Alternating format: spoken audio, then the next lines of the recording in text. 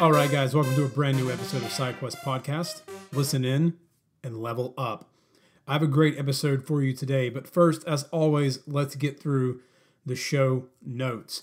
If you're not following the Facebook page, head over to Facebook, type SideQuest Fitness into the search bar, and like the page. There, you're going to get updates on podcast episodes, articles when they get posted, and you're going to get a brand new taco recipe every Tuesday for Taco Camp uh, plus lots of other shenanigans and nerd talk throughout the week. So make sure you head over to Facebook. You can follow me on Instagram. My handle is SideQuestFM. If you want to see some cool videos and random stuff on Instagram as well, you can follow me on Instagram. Same handle, SideQuestFM. Or follow me on Snapchat, SideQuestFit. Follow me there. Send me your questions. Uh, I want to get all the questions from you, help you as much as I can on your fitness journey or your journey in life, whatever it may be. But head over to Snapchat, SideQuest Fit. Follow me there. You get a little more personal, in depth look at the shenanigans I get into throughout uh, every day. Uh, but I do love getting questions from the community. So please send them out to me. If you have not left a review for the podcast, please head over to iTunes. If you're not listening on iTunes and you listen on SoundCloud or Stitcher, leave a review there as well. When you leave reviews, it helps me move up the charts on the iTunes store so that more people can see and hear the amazing guests that I've had on and have on each and every single week. So make sure you head over there. And don't forget, if you haven't picked up your copy of the seven principles of fat loss, head over to sidequestfitness.com forward slash seven principles and you can pick up your copy of the seven principles of fat loss. These are the same seven principles I follow each and every day and teach my clients to help them shred away more body fat, unlock heroic strength, and just look better naked. So if you want to unlock strength or just look better naked in the mirror, head over again, grab those seven principles of fat loss, and start following those today. All right, guys, I have a great episode for you. Jason Helmes of Anyman Fitness is returning for his third episode ever, almost a year to the date as I had him on uh, last year but he has a great product he's putting out today. As you've probably noticed, the podcast is coming out a little later and not on Monday. So I'm putting it out today to help Jason out with no squats, no deadlifts, huge gains. The brand new program he is putting out that you can grab when you head over to SideQuest Fitness forward slash Jason Helmes 3. That's J A S O N H E L M E S three. Put a hyphen in between Jason and between Helmes and in between three. And you can pick up and get a link over to no squats, no deadlifts, huge gains. Uh, Jason is a great friend of mine, a huge inspiration to me as an online coach uh, and in the fitness industry. Uh, I love this dude so much. Uh, we have a lot of fun. We talk about his new program that he's putting out to help people who want to gain mass build muscle, but not using squats and deadlifts. He's getting older. He can't really do a lot of that anymore. Um, and we talk about the importance of, of what that can do, adding volume to really build that strong, sexy physique and looking like really great naked, how awesome that can feel. Um, but his program, how it can help you get there without squatting and without deadlifting. Sounds a little crazy, I know, but it is the truth. You can do it bodybuilder Dorian Yates never squatted, only used the leg press, and he had fucking tree trunks for legs. But I'm going to shut up. Let's get into the show. Let's hear from Jason. We're going to catch up. It's a good time. Uh, so check out this episode. Jason Helmes, no squats, no deadlifts, huge gains. Step up and you gotta get it fitness. Host Rob at the moment and the quest is you gotta check it and wreck it. You're breaking personal records and with the help of the guests you won't be guessing on the lessons. That's a plus five fierce. Got a low key bamf right here. You wanna meet him, there's no better way to greet him than to strike a boss pose. Take a look into the mirror. All right, guys, welcome to a brand new episode. I'm stoked again. About a year to the date, we are speaking uh, on Skype again, but I, am uh, stoked to have Jason Helmes back on uh, the podcast. He's got a, a, great product that he's putting out, uh, which is interesting because it's a muscle building product that involves no squats and no deadlifts, which I know is possible. You can totally do it. I have friends who've done it. I've seen Jason do it. Um, I don't know, man. I love me some squats and deadlifts. Uh, uh, but uh, but I want to find out why uh, this is important and, and for who this will work. But uh, Jason, welcome back to the show, man. Well, thank you very much for having me. This is this is third time's the charm, right? Like this this oh, yeah. is this is well, you, this is number three. you've got some practice now under your belt. You've been running your own uh, little podcast as well, so I do. I've been trying to. I, I, still make a lot of rookie mistakes, and I'm working on my voice and making sure not. You really have to be careful with things. As a teacher, you sometimes use your voice kind of as a, a, teaching tool, and you go louder and then quieter and higher and then lower, and that you can't really do that on a podcast as much because then your listener is going to be turning up the volume and down the volume and taking the headphones off their ears. So I'm still learning some things that are a bit out of my element. But thank you very much. Appreciate that. See, I didn't know you could do that. I just I just do whatever. Um, I I'm literally like I'm gonna sound like the most natural person in the room. I'm not gonna be like uh, you know uh, NPR radio host, but uh, but, but when you say find your voice, you still have to find your own voice within a podcast as well. Uh, I think that's even for writing, for doing anything, you got to find your own groove. So it takes a little while. Um, totally wasn't it wasn't it Miles Davis that said you have to play for years before you uh, learn what you sound like or something like that? I think. One of one of those guys, um, which is you know it's it's it's pretty true. Um, but uh, how how you been, man? How's uh how's things? I've been good. I've been good. Been real good. Um, the summer's been really productive. Um, I am. Uh, if for your listeners that don't know, I do teach middle school and have for twelve years. So summertime is my time to step a little bit back from that job and and jump into the waters full time on the online job, uh, online fitness business. So and we do have our first product coming out as you mentioned there. So there's all kinds of behind the scenes back end techie kind of things that we've been struggling and wrestling with over the last couple of months. And uh, we're just getting our ducks in a row, making sure we're ready to rock. That it comes out on September 20th, and I'm, I'm sure we'll be discussing that here in a little bit. But things are good. Things are good. The kids are growing up. Uh, Brooklyn's my oldest daughter. She's six which is crazy to think she's going into first grade and Ava's uh, getting in her last year of preschool, and it will be so awesome when that bill is off the books. let me tell you, holy crap! My dad is a very wise man, and he told me when I was a teenager, if you want to be rich, don't ever have children.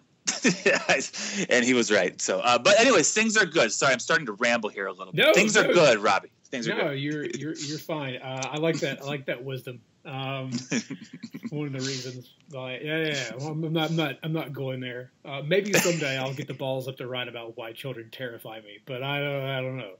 Hey, uh, children terrify me, and I'm an actual father, so I understand.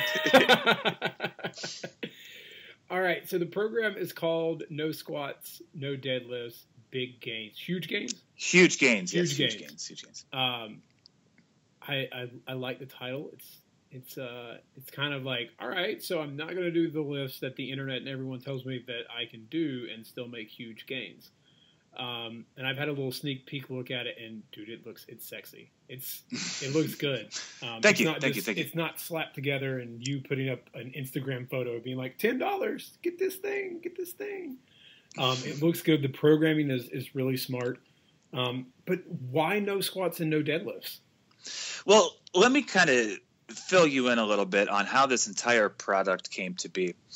Um, when I very first started in in this space about three and a half years ago, I obviously chose the name Anyman Fitness and for my business. And the reason was clear because I was just a regular guy.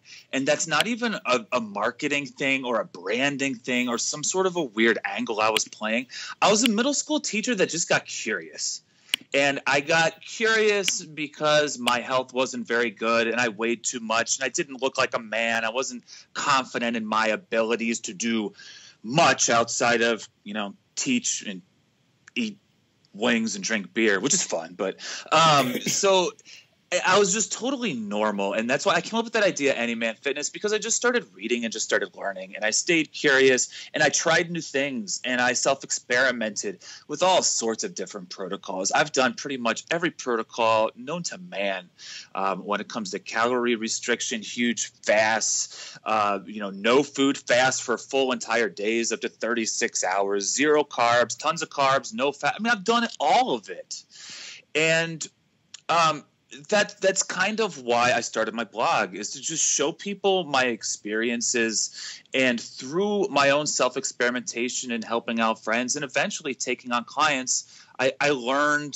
what works. And I also learned that oftentimes there's some sort of a disconnect between what works and what quote unquote everyone knows. And I've always just questioned those things. There was a time where I was a low carb zealot and I thought anytime you ate insulin, fat instantly got packed on your body. Like I would argue that to the death about insulin being a storage hormone. And I can't believe you're eating that banana there. You're going to get fat. Your blood sugar is messed up. That's what I firmly believed at one point in my life until I started, again, self experimenting, reading more and learning more. So, anyways, um, I got into fitness and I started with the big three when I really got into it, right? When I got away from the the curls and and and you know every day is chest day kind of a situation, which is kind of funny because the product I think there's like four chest days. But anyways, just joking. Um, but not really. Uh, and so I followed the what everyone tells you to do right? Follow a basic linear progression, do some sort of a starting strength, some sort of a, a, a strong lifts five by five, maybe a five three one. It progressed into a reverse pyramid training, an RPT kind of a thing, and I got really strong doing that really strong uh, to the point. I mean, my numbers weren't powerlifting elite or anything, but I was deadlifting 500. I was uh, bench pressing over 300. I was squatting in the 300s. You might go, "Oh, fitness guy with a 300 squat." Well, yeah, I'm I'm six foot eight jerk face, so I mean, it's, it's a lot of work to get all the way down there and back up. So I had I had what I would call I would label them. Um, well above average commercial gym numbers is what I would call them really. Um, and and and that's through a lot of different bulking and cutting cycles, bulking and cutting and bulking and cutting and bulking and cutting. And at the end of one of those bulks is when I hit those numbers.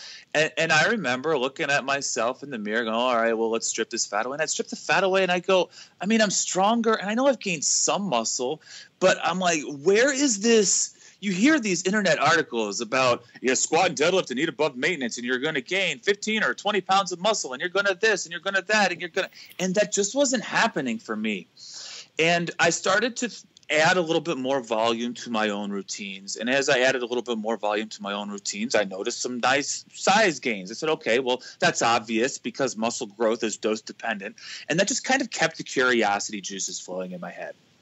And I started to ask myself, I started to wonder are these squats and deadlifts causing muscle or all these bicep curls or doing you know maxing out my volume in, in seated cable rows? Is that causing more muscle growth?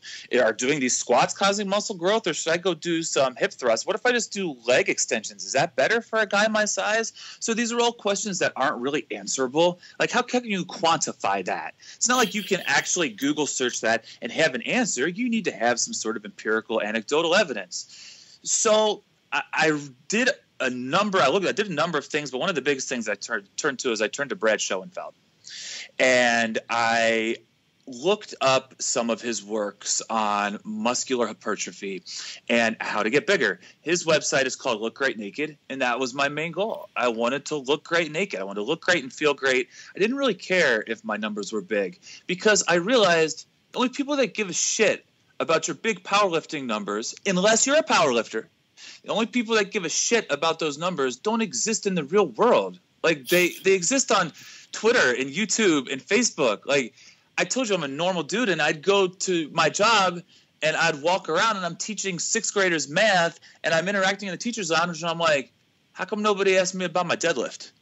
like, because nobody cares, you know, nobody cares? And that's we get so caught up in this Facebook world, and I make a post about, yeah, I don't squat and deadlift anymore, and all of a sudden there's 50 comments, and I'm called all kinds of names, and people are going, oh, here's some little newbie who thinks he knows what he's talking about, uh, and like everyone gets all pissed off at me, and I'm like, guys, the only people that care are you 50 people that commented on Facebook. You're it. Nobody else cares. Like this is totally an echo chamber. So, anyways, uh, back to Brad Schoenfeld. He had an amazing review paper in 2010. You can see how I fill up my time uh, dude, teaching with words. I, I, but I'm with I'm I'm with you on that. I think yep. that's one of the things that, that I that I struggle with at times as a coach. online or even in person is I'm like, ooh, I, you know, you want to. I know this knowledge. I want to sound cool. They don't care. They Mhm. like they like They don't care. they just want to know what to do. They don't care. people want to know how to get the results that they want. They they don't need to know the five thousand different muscles or that this and does that and this and, like it's great that we know that and we can we can geek out on it. Look, it's like Star Wars. Look, I can talk about like extended universe stuff all day. I can talk about video games. Nine times out of ten, people are like, "Look, I know there's Luke, Han, and Leia, and Chewie. Like, uh, Mhm. That's it. I don't, Yep. I don't care." Very true. Very true. So, anyways, um, I, I, Brad Schoenfeld had a groundbreaking paper. It's a little bit older, uh, 2010, but it, it was groundbreaking then, and it's still referenced in many articles, and you may have heard of it yourself. Um, the mechanisms for muscular hypertrophy and their application to resistance training is what the paper was called. Big, long title. Uh, basic, Come on, Brad, for- simplify that. I know. Okay, I'll give you the TLDR. Here's the shit that makes your muscles bigger, and here's how to apply it. Okay, I so like that- that copy better.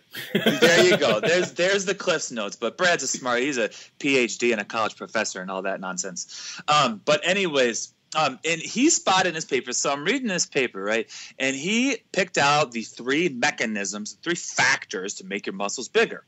And those factors are, first off, mechanical tension. When you are putting your muscle under a load and there is tension in that muscle, whether you're talking about your bicep in a bicep cur- curl, your lats in a pull up, your quads in a leg press, keeping tension in that muscle, right? Um, the second factor to muscular growth is metabolic stress. And metabolic stress is often referred to as the pump in bodybuilding circles, right? You know, Arnold, ah, the pump. You feel you The feel the pump. It, it, it's better than coming, right? Uh, if you've ever seen pumping iron before. If not, you need to go watch it. Uh, but the pump is what's caused by contracting a muscle continuously over time and causing a lactic acid buildup in the muscle. And when the muscle enlarges and it gets swelled up with that lactic acid, the blood can't run through the veins, and that's what causes that feeling of holy shit, my arm is going to cut open and tendons and, and, and ligaments are going to spill all over the gym floor. So you got to chase the pump. And the last thing is muscular damage. You have to push your muscles to do something that they have never done before. This is the main component of progressive overload, right? The Right. five more pounds, one more rep to a little more volume. You have to, you, you can't stay the same or else you're not going to force an adaptation on your muscles. And if you get adequate muscular damage, you're going to cause little rips and little tears in your muscles. And then after they repair themselves over time, they'll become stronger and they will also become bigger due to what amounts to scar tissue in your muscles. So I was looking at those three factors and I looked at them really closely and I started to think about it. Do I maximize mechanical tension with my lifts? Do I do that?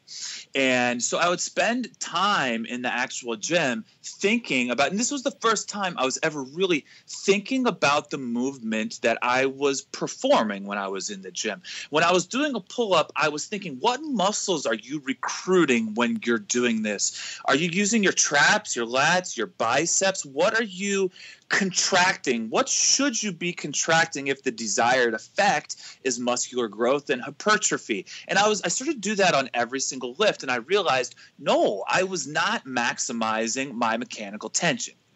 And this is one of the three major components to muscular growth. So I thought, I mean, how many gains am I losing on the table by lifting in this sort of a build strength at all expenses kind of a thought process going for bigger and bigger numbers? So that was the first thing that kind of got me thinking there.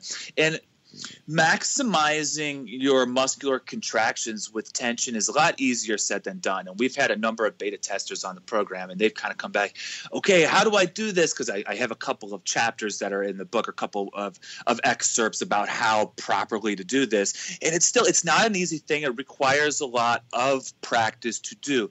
But I noticed a few things. First off, if you bounce your chest in a chest press, that is a release of mechanical tension. Mhm. If if you rest it on your chest for a split second, that's a release of mechanical tension. If you lock out your legs in a squat or in, in, in a uh, like a leg press, that's a release of mechanical tension. If you fully extend your arm all the way down and even wait just a tenth of a second on a bicep curl, that's all these things are releases of mechanical tension. And this really got me thinking, holy shit, I do that all the time right? Like in a pull up, and when I got to the top of the pull up, I would just it just be a split second, but on the way back down, I kind of released the mechanical tension and sort of free fall for just a second before I came back up, and we need to maximize that. The second thing was the actual pump. Um, the the metabolic uh, metabolic stress, and I started to ask myself like, how often do you feel the pump? And I realized that like not that often did I really get a real skin splitting, sick, veiny pump. That just that wasn't happening with the kinds of workouts I was doing. And I wasn't using low volume. I was probably using between, excuse me, between 20, uh, 25 sets per session. But some of the sets didn't really elicit a pump. I never really felt like I got a sick pump from squats or or from deadlifts. Perhaps that's something that I was doing wrong in them. That's possible. I'm not saying that it's not, but I kept thinking, you know, if, if you want your muscles to be bigger, we need to get this metabolic stress to be maximized, and I definitely wasn't doing that. Um, and the last of those components was muscular damage, doing something I'd never done before, and I was doing that. That was the one of the one of the three factors that I was definitely doing because for many many years I played beat the training log. And because I played beat the training log, and I consistently, more often than not, probably 75, 80% of the time, I did beat the training log, I was overall making gains in my training. So that was the one that I had already accomplished. But when I looked at the other two, when I looked at mechanical tension and I looked at metabolic stress and how to maximize them, I became curious on how effective squats and deadlifts would be in order to maximize those two components in my own training. I was wondering how I could get achieve the pump adequately with deadlifts and squats and if it would be better suited with other movements if i could work the muscles individually instead of working them as a whole as those movements tend to do if i would get better results pump the muscle up better if i'd be able to keep better tension on the muscle and i didn't know the answers to those questions um, so I decided to do what I always did back, like I like I mentioned back in 2013 when I first got curious. I made up a plan and went with it, and I tried to maximize those three components. And in the three and a half, I think there was a, a total of about 13 or 14 weeks that I utilized this programming on, programming on myself. I've never made so many gains in my entire life. Uh, it was, it, it was, and I know there's. Let, let me let me play devil's advocate here. There's this part of me that says, "Dude, the only reason you made all those gains is because you got strong as fuck before you started it." Like that argument is there. And i yeah but i just think there's this real point of diminishing returns. Like okay before i started training like that i was still deadlifting. Before i'm sorry before I, I, I went on a bulking path to deadlifting 500 i was still deadlifting 440 would this program have done anything differently if I would have started it then? What if I was only deadlifting 400? Like, what sort of a strength level, a base strength level, do you need in order for this to be a beneficial thing? Because I think that that's a, a misconception. That's where people end up getting a little butt hurt on the yeah. internet, if you will, is that they think that what I've created is a pussy's way out and I'm sorry for using that language if anybody's offended by that word.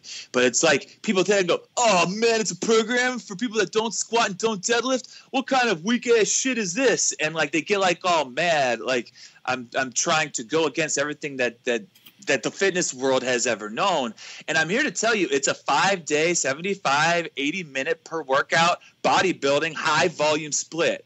If you are weak or you think this is the easy way out, I dare you to try to last a month. It's not going to happen. Like, it's grueling. I'm a highly trained person. And by about week seven, I was like, holy shit, am I going to make it to the end of this? And eventually, your, your body does adapt and you get better at that high volume training. So it does get better as time goes on. But this is not the easy way out. It's it's not. I want to be very clear from that. If you are an untrained individual and you go, oh sweet dude, I'm going to pick this up and I want to squat and deadlift and I'm going to get huge gains, you're not going to last. You're you're not going to be able to complete the program. You do need a base of strength before you start. So after I just went on a monologue for 25 minutes, um, what's up, dude?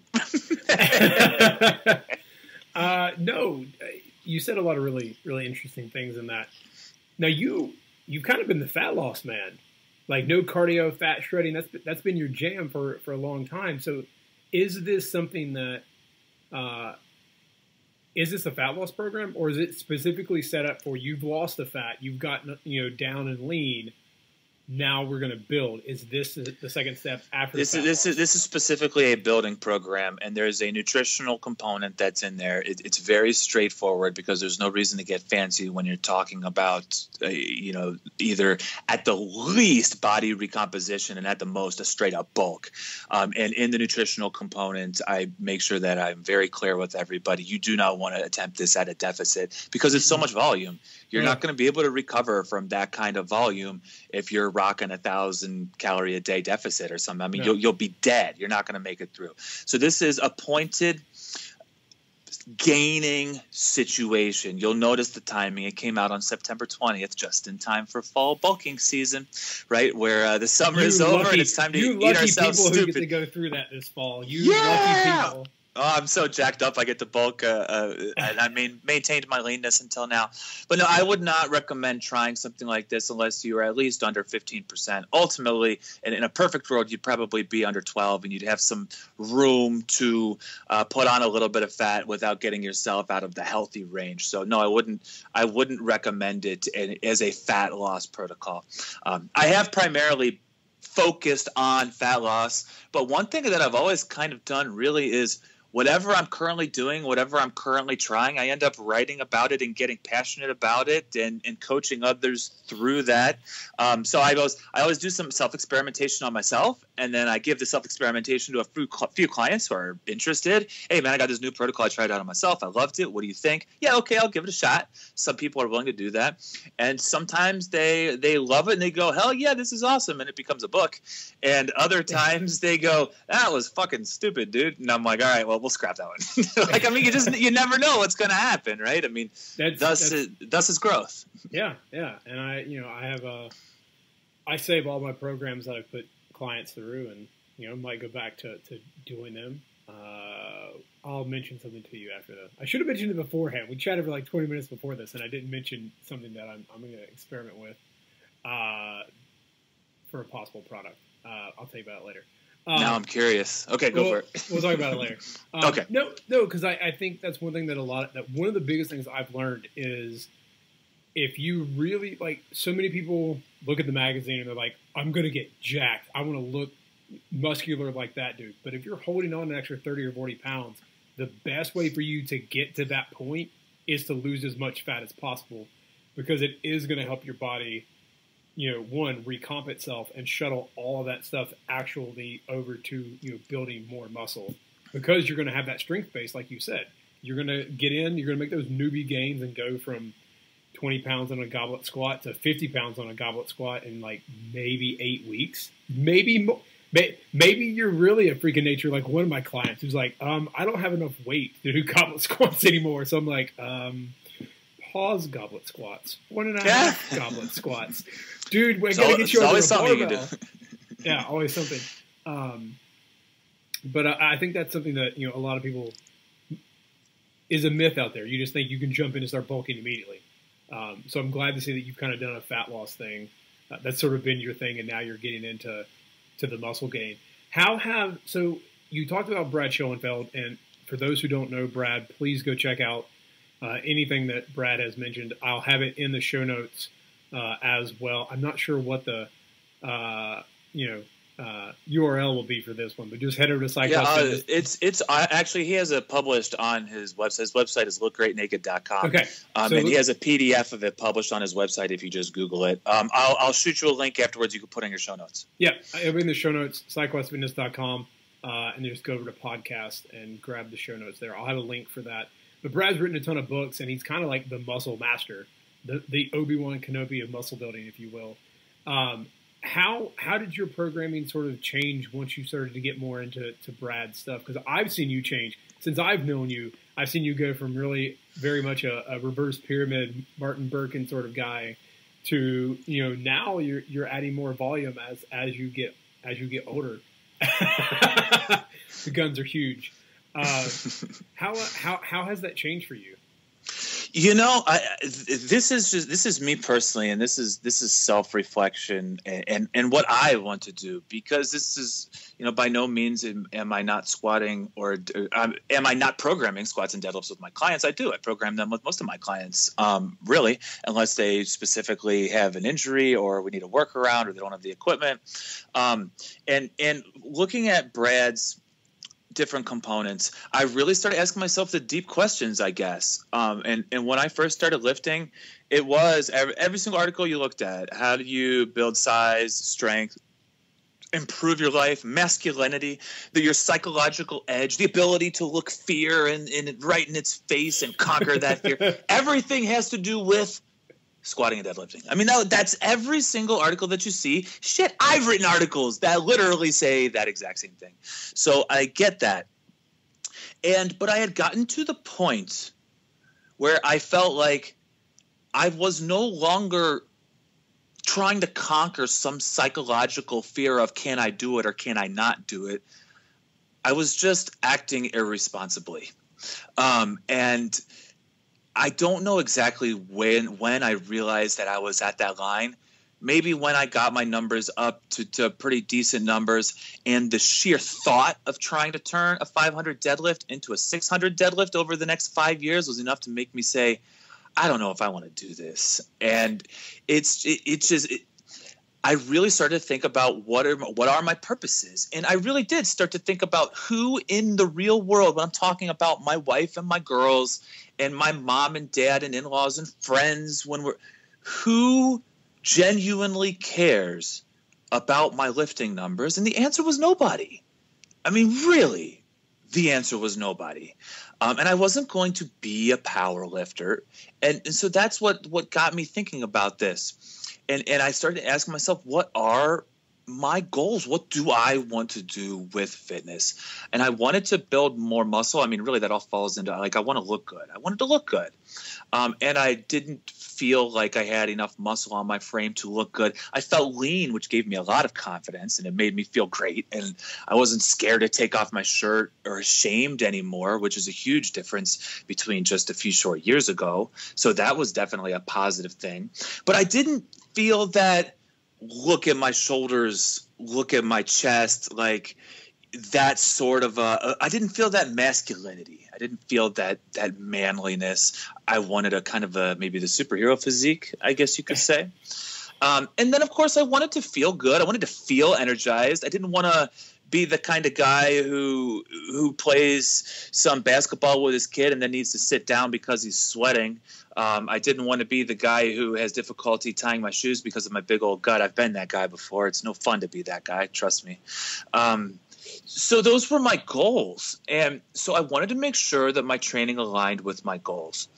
And i went from being a religious you need your rest three times per week don't overtrain four rest days per week for years I did that. So I was just said, screw it, I'm going all in because I'm going to eliminate squats and deadlifts. For a guy my size, those two things completely exhausted me. Deadlifts, all I wanted to do was take a nap for like the next 24 hours. Like my entire central nervous system. It, seriously, I would jokingly tell people I, I got run over by the, the the deadlift train today. Like that's what I felt like. I just got annihilated and destroyed. Squats didn't make me that fatigued to the core the way that deadlifts did, but they made my legs, my hamstrings, glutes, hips, lower back so sore that for the next 48 hours, all I want to do is lay on the couch. Like I didn't, I'd have trouble going up and down stairs. All those memes, like, you know, this is for leg day, and it shows like the granny with the thing that goes up and down the stairs. I'm sure you've seen those memes before. Yeah. That, uh, like, that was like my real life, and I'm sitting here and my daughter will go, hey, Daddy, come down on the floor and play dolls with me. And I'd be like, that floor right there? Huh. you know, like, I don't know if I want to, I can't, I, it's going to be painful. So I'd go get down, oh, oh, oh. And she'd be like, Daddy, what's wrong? And I'd be like, oh, yesterday was leg day, you know? And I, I kept thinking, like, what am I doing this for? Like, what am I making myself this miserable before. Um, and and could I have taken another approach and changed my programming and gone through lots of flexibility things and, and foam rolled and mobility drill? Yeah, sure, there's another approach to it. But I thought to myself, look, if my goal is just pure sexiness, and to get the pure sexiness, I need to maximize those three components that I had talked about earlier. I asked myself if I really needed those. And the answer was no. So I came up with a plan. And the most amazing thing happened. I was sore as shit for like two weeks because my volume just shot through the roof, and I was training 80 hours a day, or 80 hours a day, 80 minutes a day. that's, a, that's a lot of training. 80 minutes a day for five days a week. So at first, I was super sore. After about 10 to 14 days passed, soreness was gone. Just gone. And I could push myself to failure set after set after set after set after set. And I could push the weights and I was increasing linearly. And really, what was happening is I was providing a totally new stimulus and a totally new chance for my body to adapt. Um, I started eating breakfast, and that was a big thing. I went from a fasting guy to a breakfast guy and got an extra protein bolus in there too. Um, that's part of the nutritional plan that's in the program too. We don't recommend this to fasters. If you're a faster, drop the fasting before you jump on board. Um, so, I mean, there were a few different changes. So, was it just the working out? No, it wasn't just the working out. It was probably the totality of the entire program that I put together. But Robbie, I don't know if I'll ever go back, man. Like, and I'm still training in this capacity. Um, when I'm cutting, I'll go from five days, maybe down to three or four days, but I'll still train kind of in, in the same sorts of, of manner. Um, and then next week, when my bulk starts, yes, for the love of the fitness gods, my bulk starts Monday. Um, I'm training, it, it, not the exact program. I've tweaked it and revamped it, and uh, I, am you know no squats, no deadlifts, huge gains 2.0, I guess you could say. But I'm going to go another round and and try some different strategies and different muscle building techniques and see how these go for me. So um, I do think I'll hit a point in my life where I go, okay, I need to just work on strength for a couple months. And I need to regroove the deadlift tract and the barbell back uh, squat tract and maybe even the barbell bench press tract. I might give that one up forever though. I, that's, yeah, that's the, the one like yeah, what barbell bench press or whatever. Um, but I, I, so I probably will at some point go back to that strength phase. Okay, let's get those numbers up. But you know, I feel better. I'm less sore. I have more energy. I look way sexier, um, and I I just have a higher quality of life. So I, am really loving it, dude. Uh, I know there is no qualms about looking sexier. Um, I uh, that's actually on my list of podcasts to do. by the time this up is up, maybe there's a solo episode on why uh, it irks me that people are like, "Oh, but you're so vain." Yeah, you damn right, I'm vain. It's me. I want to look good. I want to look good. Like I want to be sexy. I grew up Screech. Let me look like Slater. yeah, I, I, grew up six foot eight, two hundred five pounds of wet noodle. So, uh, so when I, I get a look from time to time uh, out in public from uh, various people, um, you can't pretend like that's not a nice confidence and ego boost to go. Yep, I just saw that person checking me out. I mean, of course it is. Whether you're a man or a woman, it's a primal instinct to look and feel attractive, and we need to embrace yeah. that primality. Yeah, I don't think there's anything wrong with that. I've had a few uh, college students find out my wife is I'm the husband, the guy they've seen at the gym uh, that my wife is the professor, and they're like, oh, oh, well, she's lucky. And I'm like, yeah, I like that look in your face. I like that look in your eye. Yeah. This podcast could go in a totally different direction. well, so no, I actually want to ask you about eating breakfast. I sure. actually started last year on my bulk. My bulk was very, very similar. I did have some squats and some deadlifts, but honestly, like the weight was very light. Like I was kind of mad that I wasn't lifting heavy weight. Um, but I put six inches on my, my, my butt, my hips, um, and basically all I did was hip thrusts, barbell hip thrusts, banded hip thrusts, like body weight, single leg, um, Romanian deadlifts, good mornings. Like I wasn't squatting and deadlifting heavy weight. When I was, it was there were some quarter reps in there, followed by like supersetted with like full reps, so you get like a quarter and then like a full. Um, but it was just volume, light, light weight, um, and a lot of carbs. But I had to go back to eating breakfast. I had to. There's no way that you can eat 600 grams of carbs. I challenge anyone, if you can do it, do a bulk on 600 grams of carbs a day or more and not eat breakfast. Like unless you drink four liters of Mountain Dew, like there's really no way to do it. Yeah, yeah. But what did you discover? Because what I discovered, I put um, in the article about what I learned on my photo shoot. I look better eating breakfast. I looked, my muscles looked fuller. Um, mm-hmm, I mm-hmm. I felt like my mass there was more mass. Um, I don't know what that means. That's just what it looked like. But what did you what have you learned in going back to eating breakfast? It's tough because if you would have asked me this question about a year ago, I'd have all kinds of answers. But now, since I've eaten breakfast for a solid year, because at the time I, I fasted for like four or five years, like, and I never ate breakfast until at least eleven or twelve every single day. Um, I do know that one of the reasons I skipped breakfast was because I would eat breakfast and I would get hungry very quickly thereafter so it was one of my ways to combat that hunger and and that's a lens that I've always viewed my diets on. How do I minimize my hunger? Because there's two reasons people eat. Number one they're hungry. Number two they're bored. I mean I guess you could start getting into like you're stressed, you're anxious, you're emotional. You're there, so there's a. a I, I, won't. I, won't go there. I'm. I'm learning that myself as my wife yeah. goes through some things mm-hmm. right now. With her. Uh, okay, so let's just say the reasons you eat are either physiological or psychological. They're one right. of those two. There, there's no other category or, or, or they're trap that they could could fall into. So I knew that I couldn't eat because of psychological reasons because I worked. I, I was teaching at the time when when I was fasting. Um, so I decided that I just needed to minimize my hunger so that I I could get through to lunch. And and there, there you go. I'd be able to fast, and it would be a pretty easy endeavor. And not eating breakfast made that simpler. Um, looking back at things, the real reason I was probably hungry is because when I woke up, I had a granola bar and a banana and it was not like a protein granola bar or anything. It was like your old school sugar bomb granola bars and a banana. So in essence, what I was really doing is eating 200 calories worth of straight carbohydrates with no protein and no fat mixed in. So I probably woke up in the morning, got an insulin spike, and then I had a, a resulting blood sugar crash, and I ended up feeling cranky and shitty. That's probably what happened. Because uh, where this is all leading to is the the biggest discovery is that if I eat an intelligent breakfast that contains some protein. I make sure that I get hydrated with water the first thing that I wake up. I make sure that I have some carbohydrates for some fuel. I make sure that at times, uh, depends, not every day, but maybe I get a little bit of fat tossed in there to even out the macronutrient ratio so that I have a mixed meal. If I eat an intelligent breakfast, I'm not hungry in the least until two or three o'clock in the afternoon if I eat an intelligent breakfast. If you eat a haphazard breakfast, like I said, a bowl of frosted flakes that's 100% sugar, yeah, okay, you're going to be hungry at 9:30. Or if you you slam a donut and a, a Mountain Dew on your way to work, yeah, you're you're going to be hungry because you're eating crap food.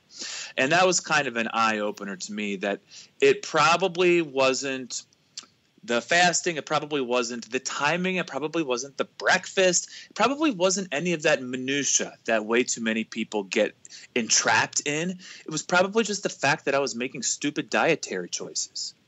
That's what made the fasting work yeah. for me so to speak. Um, i did notice that my workouts got better um, by eating breakfast and I'm not sure if that's from a and, and I was working out. I was I'm not an early in the morning workout guy either. I was working out after school at like three thirty four o'clock. So I thought that was an interesting observation, and I'm sure it's just I got fuel in my body, and then at lunchtime I got more fuel in my body, and then after work I went right to the gym, and I just been I've been properly fueled, properly hydrated, and and I felt more alive. My my workouts definitely uh, improved uh, for sure. I find out, and this is a big one, and uh, this is anecdotal, ladies and gents. Uh, I started sleeping better. I found that to be interesting. I've I've never really been a very good sleeper. I've always been a really light sleeper. I've been one of those. There's a million different thoughts flowing through my head as I lay my head down on the pillow to try to rest, and it only gets worse with age, with jobs and mortgages and kids and you know fitness things uh, that I need to do. Um, so I've never really been a very good sleeper. And eating breakfast, um, I'm not sure if that calmed down my cortisol level. I mean, I, I, I don't know exactly what it did uh, physiologically. Maybe it was all uh, in my head, and it just helped me to relax a little bit. Um, my caffeine? Did you cut your caffeine intake down? I did. Were... I, I, have at the time. Uh, oh gosh, when did I cut that down? Actually, yeah, I think it was right about that time too. So yeah, there's always confounding factors and variables. Yeah. Um, I used I used to be hard, dude. I'd put eight tablespoons of of real thick like dark roast into the coffee mm. machine. Like it was like there was probably 500 milligrams of caffeine in one cup of coffee. It was just so ridiculous. Um, also, this is interesting too. Um, I don't want to cause any shockwaves, so again, anecdotal. But I always do my physical in April of every year. So in April of 2015, I was still fasting, right? And in 2015, uh, my freestanding testosterone uh, was uh, 292. This is pretty low. And I was like, oh, shit, do I need to get on TRT? What's going on? What do I need to do? Um, and then once I started with this more volume based approach, once I started eating breakfast, again, a lot of factors. I can't say it's this lifting or it's this fasting. I can't, too many factors. But it was all the way up to like 475 within a year. Um, so I don't know what part of, of what I've been doing. I, I, promise you, I'm as natty as natty comes, other than protein shakes protein, and, creatine. Right? I, I, use that powder, that creatine powder. but that's uh, it. I, I, love when like I say something about that, and people get that look on their face of like, "Is it a steroid?" I'm like, "You can buy it in Walmart." Like, yeah, guys, come on. No, the proper response is, "Dude, you ever eat a cheeseburger?" Because there's creatine in there's a cheeseburger. Creatine, okay, creatine in every every piece of meat you eat. Yeah, I mean this is just this is dumb. so yeah. so yeah, I'm totally natty. I'm not on TRT. I'm not on any sort of anabolic anything. Um, I I am about as pre- likely as natural as it comes in in the fitness business world, possibly. Maybe you too, but I I'm I'm as natural as they come. I do want to get my testosterone tested. Um, I uh, can't really do that right now. I don't have health insurance. But um, you know, uh, don't I say do, that too loudly. Obama will get you. whatever. I'm gonna have to pay my fine at the end of the year. You know, it's uh, no. I'm gonna say right here. It's cheaper for my wife and I to get a non-contested divorce, two hundred and fifty dollars, than it is for her to put me on her health insurance or for me to get insurance through the marketplace because of her job. Cheaper yeah. for us to get divorced, but we won't go into that. We're talking about no squats, no deadlifts, huge gains. Um, so let's talk about your gains. What did you put on the biceps? Because I've looked at it. It's a pretty big upper body split. It's not a you have one lower body day, which is awesome. Because let's be like, I love legs. I love my ass, so I'm gonna do like your program would be like, don't do this. I'll be like, Jason, I gotta, I gotta, I gotta train his butt. Like, I don't know if you've seen it, but it's pretty, it's pretty, it's, it's juicy. Um, but what were your gains? What did you see on your upper body doing this program?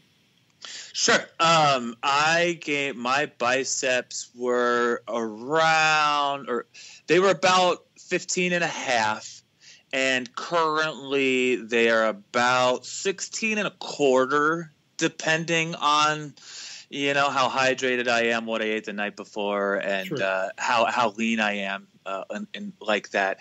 I do know the last time that I was this lean uh, was a couple years ago, back when I was doing minimalist approaches, super strong, and never really tried a volume based approach, right?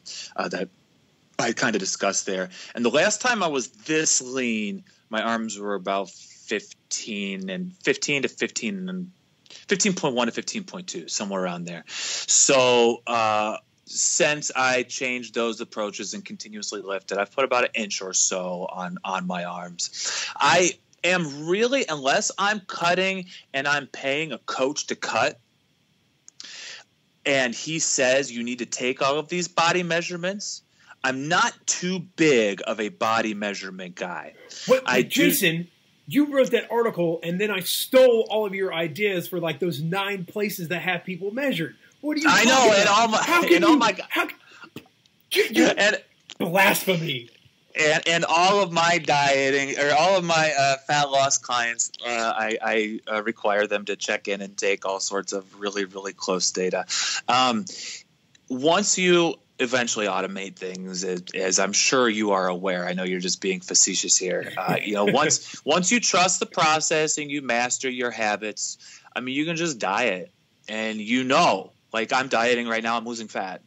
You know, and you don't really need the tape measure to tell you that you're losing fat. You you know that yeah. that you're losing fat, um, and uh, bulking though bulking doesn't come as naturally to me. So over these next uh, 14, 15 weeks, I'm going to closely be tracking my weight and uh, my goal is uh, y'all t- uh, uh, weigh myself uh, each day of the week, divide it by seven. That I'll call that my weekly weight, and then my goal is to gain under one pound, between zero and one pounds each week on average. And um, that's such an inexact science with the way that our bodies work and metabolism oh, and all that stuff. Um, so, y- y- you know, it's tough to make those decisions in some sort of a completely objective way. But uh, um, I know that if you just compare pictures, and that's what I always like to do, is I like to look. I like to look in the mirror, look in the mirror, look at the pictures, see what those things say. Um, last year, I took some fitness pictures, and I took some fitness pictures this year, and there's a world of difference between the two. Oh yeah. There's so I, I, I know that. Um, so while while I might not be able to tell you how many centimeters my chest grew over the last year, I know that I have bigger titties. you know. so. Um, all right. I just I, I wasn't sure if you were uh, measuring as as you do with your, your fat loss clients. Um, but I think when you're when you're losing fat, the, that is an important number to see because the scale is so wonky and can do a million different things. Um, it is. Yeah, it so is. Seeing those. Well, and, and one of the biggest reasons that guys like us ask their clients to to track their progress is because you want to develop that positive feedback loop. Yeah. You want to show them, hey, man, I crushed these last 10 days. Oh, shit, look at that huge drop. Or I didn't do so hot this weekend. I went to the lake and I ate all of the things. Oh, wow, I stayed kind of stagnant that week. And well, yes, that's what we can. When you do the positive habits, you will get the positive returns. When you don't, you, you just want to establish that cause and effect relationship. And that's real. And well, we're not perfect and infallible. I know we like to think that we are, especially on the internet. Um, but sometimes we make mistakes, and I'll tell people, you know, the one that go, "Are you sure these macros?" I say, "I'm 99.9% sure." But then again, I've coached over a thousand people, so you might be that one so so I've made mistakes before and I'll probably make mistakes again. I'm pretty sure of the numbers. I've worked with a large enough population that you can you know you can match people up and connect the dots for them. But I mean we make mistakes and so if you're taking the proper measurements and you're staying on point, an adjustment is purely mathematical. Yeah. So it makes it easy to do.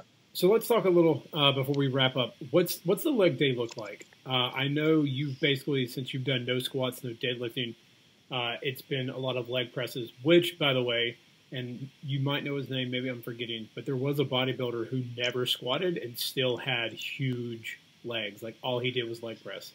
Um, yeah, uh, shoot. Was it? Dang it! I just mentioned him the other, the other day uh, in in a Facebook argument between Yates? people.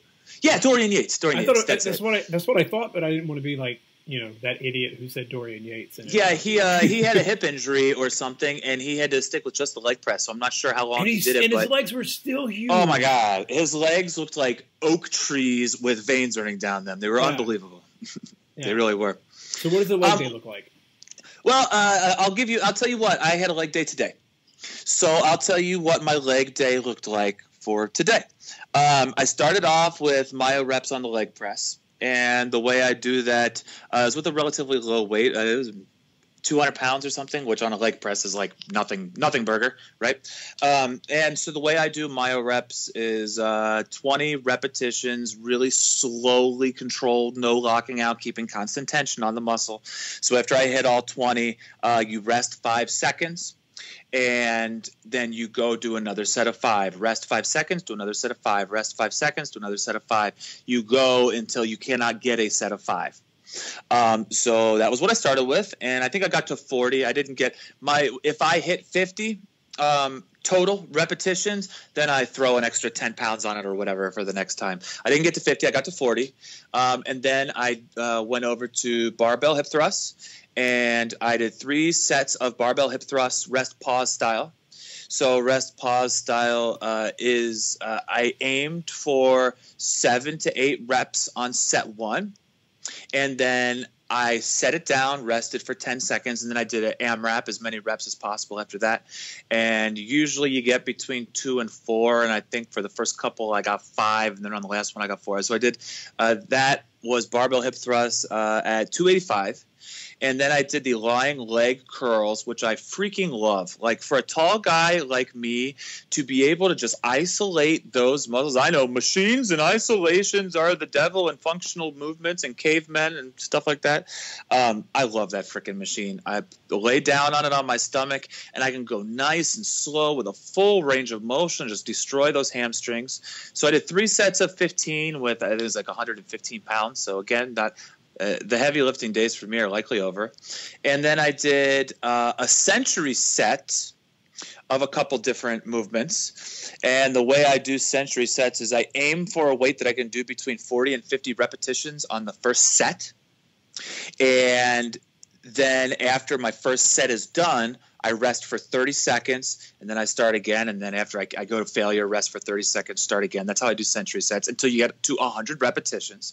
So I did the low row machine century set. I did the cable chest flies a, a century set, and I did seated uh, calf raises century set. As you can see there, I toss, toss in a little upper body on my leg days. I got to bro it out a little bit.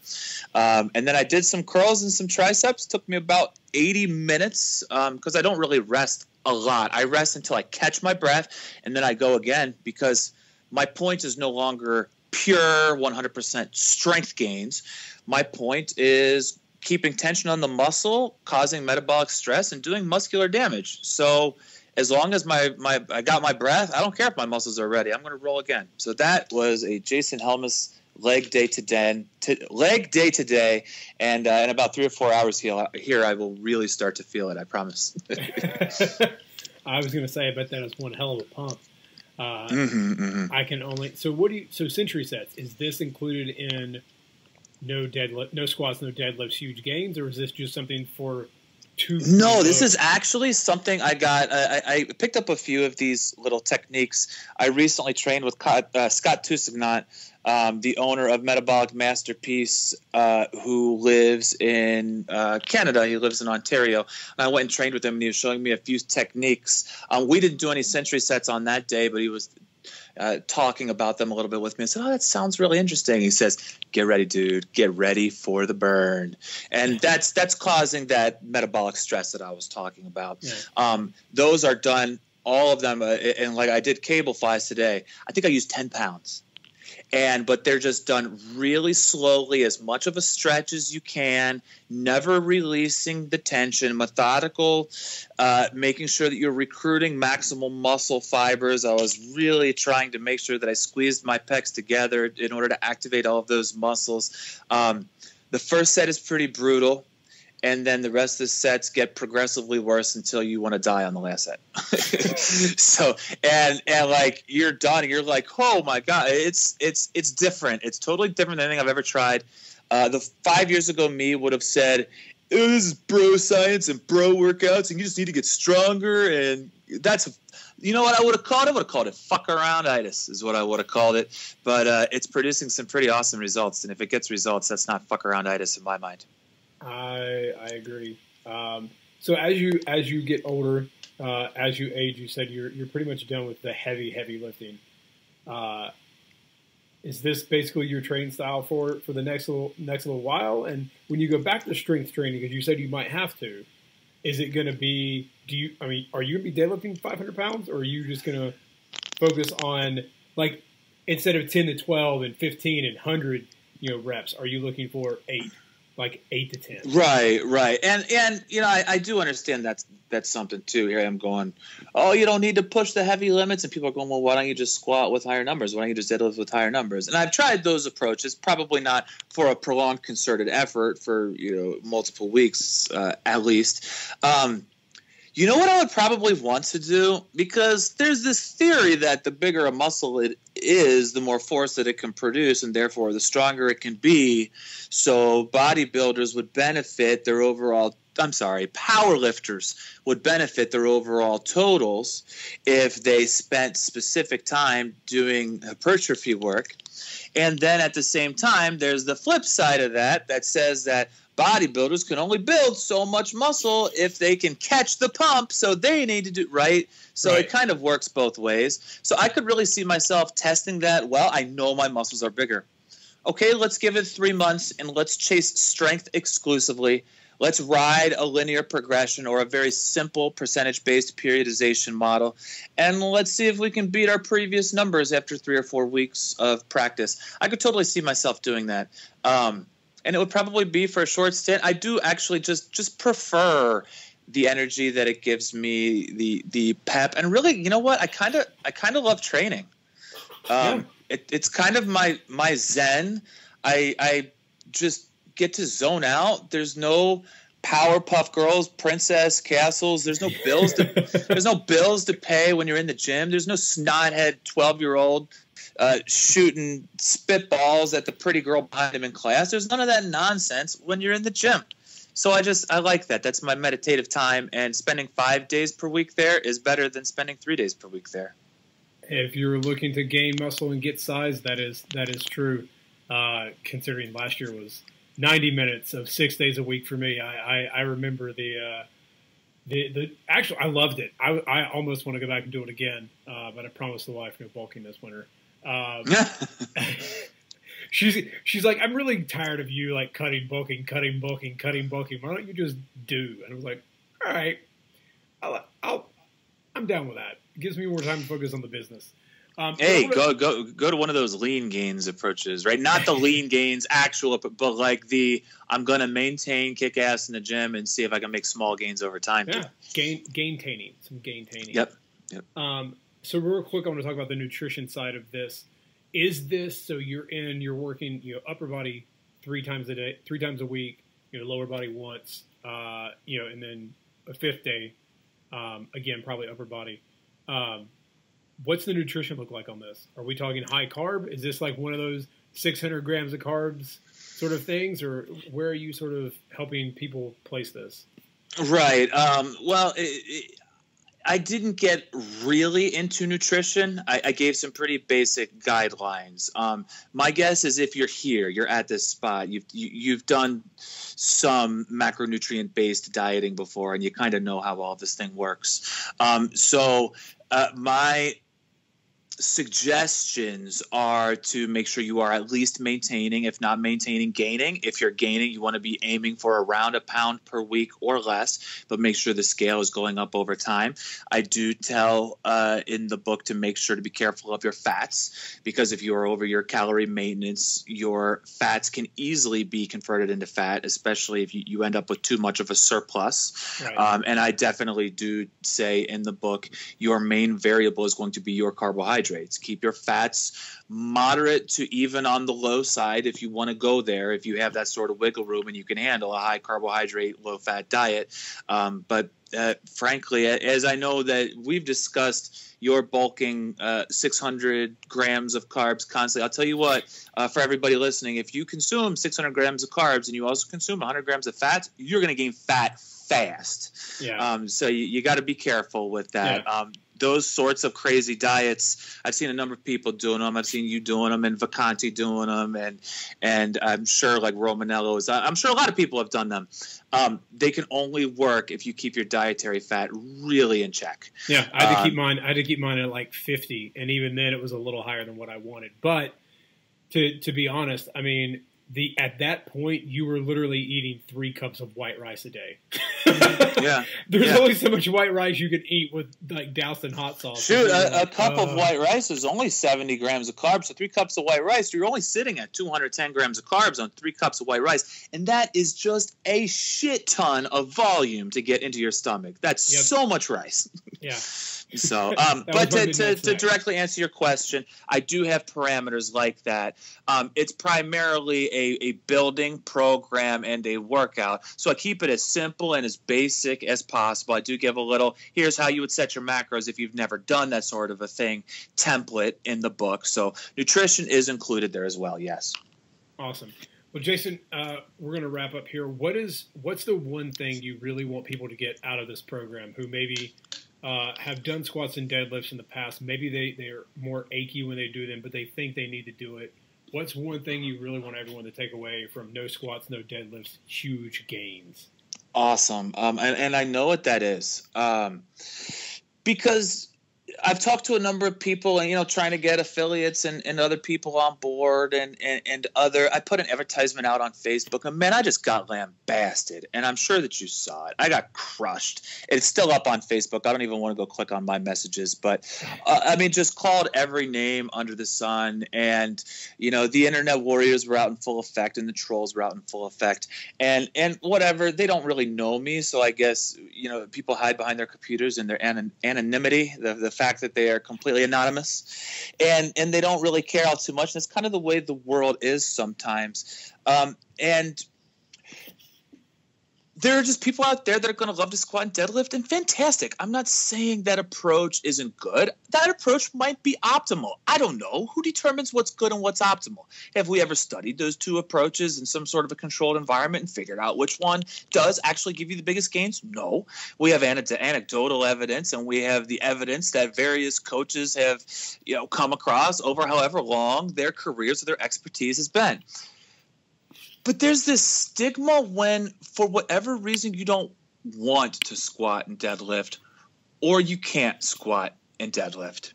Right. And that is really getting under my skin. I wrote an article a couple years ago called Most People.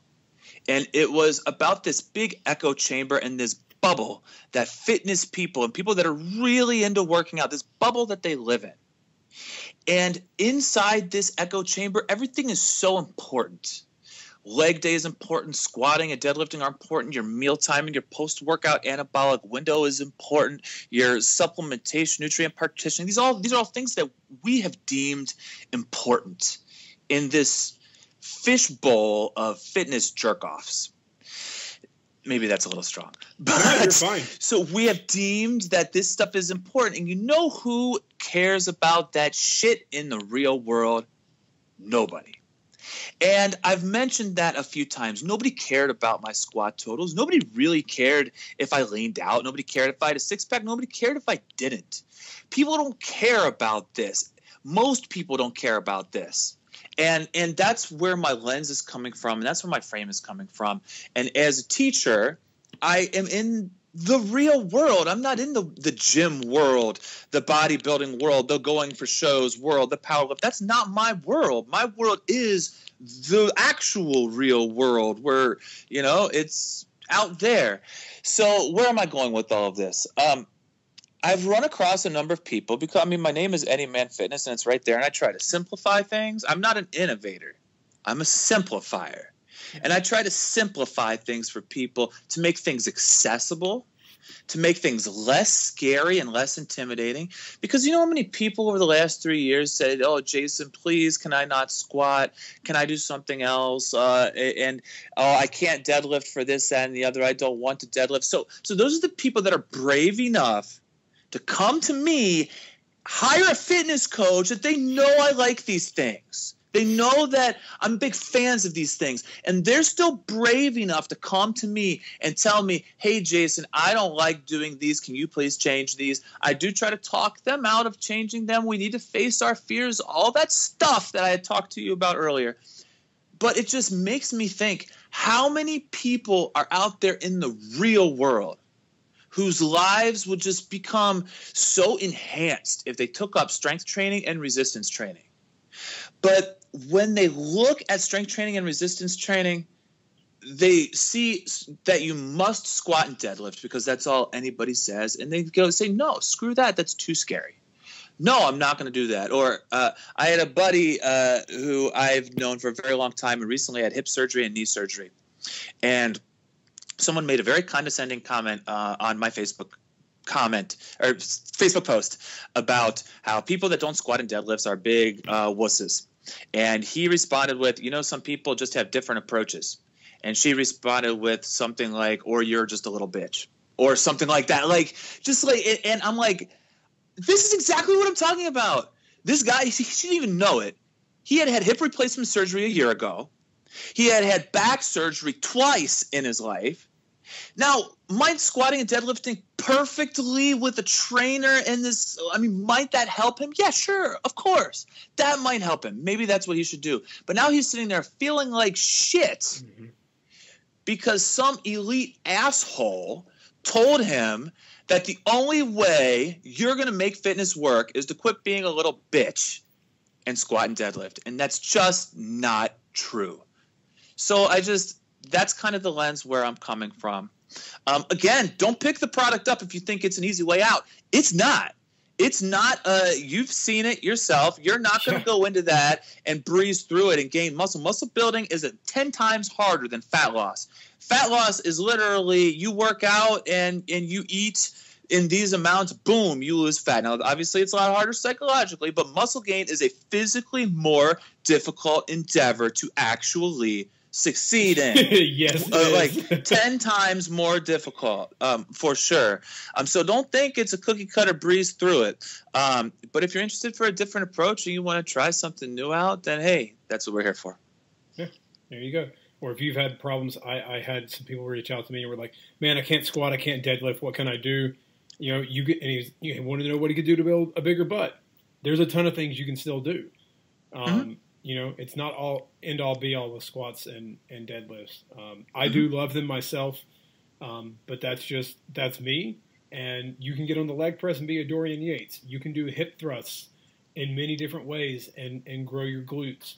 Um, there's a thousand ways to, to skin a cat. But uh, mm-hmm. Jason, thank you so much for coming on. I'm stoked for the product, guys. Uh, I will have show notes over at SideQuestFitness.com forward slash Jason, J A S O N hyphen Helmes, H E L M E S, and there'll be a number three beside of that because this is the third time he's been on the show. That's right. I'm the OG for y'all that don't know. The OG. That I am podcast guest numero uno. Well, three, but you know. We'll, we'll, uh, we'll, we'll no, wasn't I? I wasn't I your very first pod- no. podcast. No. Oh, I wasn't. Oh, son of a gun! Sorry, I made myself feel stupid. no, it was uh, it was Chuck Gross. Oh, um, my mistake.